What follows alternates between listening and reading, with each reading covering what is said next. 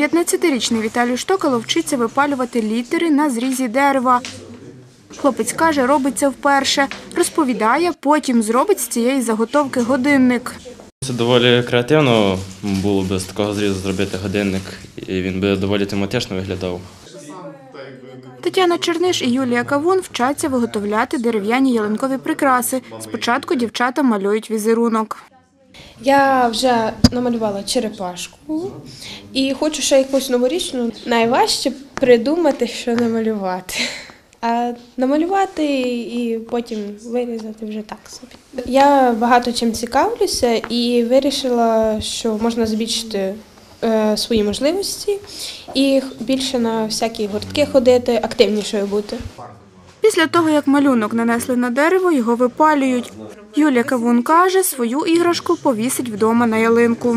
Я перший раз випалюю, і я думаю, це буде значно тяж... ну, тяжче, але це зовсім не тяжко. Майстер з деревообробки Богдан Осиф каже, заняття для дітей Копичинецької громади проводитиме в майстерні двічі на місяць. Чоловік розповів, які вироби виготовлятимуть. Ось такі підсвічники.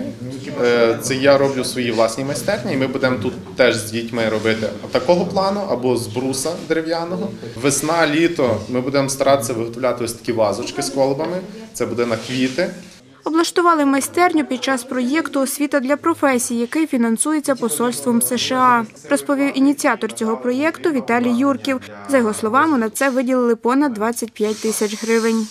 Суть проекту надати більше нових можливостей для місцевої молоді, для молоді в громаді, е, для того, щоб було місце комфортне, безпечне і умови для отримання нових знань, нових здібностей для отримання професії майбутньої. Можливо, частина дітей, які пройдуть навчання в цій майстерні, е, вирішать для себе, що це буде їхня майбутня професія, і вони будуть займатися деревообробкою, е, випаленням дерева, а також навчаться продавати свою продукцію. І з часом, можливо, в громаді з'являться нові підприємці, які будуть е, платити податки для розвитку цієї громади. Леся Придоус, Оксана Галіяш. Новини на Суспільному. Тернопільщина.